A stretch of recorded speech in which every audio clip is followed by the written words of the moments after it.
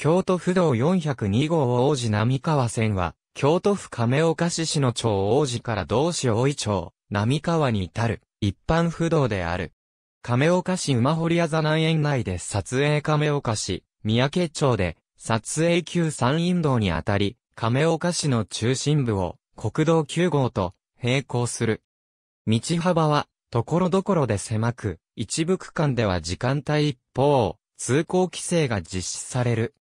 1885年頃から始まった、保津川下りは、当時京都から人力車に乗って、老いの坂を越え、篠町王子を経て保津川の亀岡盆地から、保津峡の入り口にあたる山本浜から乗船した。ルーマニア皇太子やイギリス皇太子などの品格も、興じたことから、山本浜までの道のりは偉人道と呼ばれた。京都府資料に基づく、奇襲点及び、経過値は次の通り。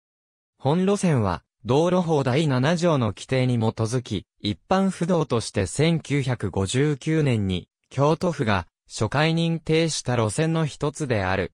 その後は、奇襲点や、経路の大幅な変更もなく、現在に至る。起点付近はかつて時速40キロの制限速度であったが、2012年4月23日に発生した亀岡暴走事故を受け、同年6月18日より時速30キロ制限を開始したほか、ハンプの設置などの対策が施された。起点の王子交差点から、篠町馬堀の約 2km で、事故以前から実施されてきた午前7時から9時までの亀岡駅方面への一方通行規制は、引き続き実施されている。京都府亀岡市出店。ありがとうございます。